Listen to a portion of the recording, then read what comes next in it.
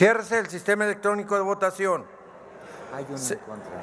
Señora Presidenta, se emitieron 335 votos en pro, uno en contra y cero abstenciones.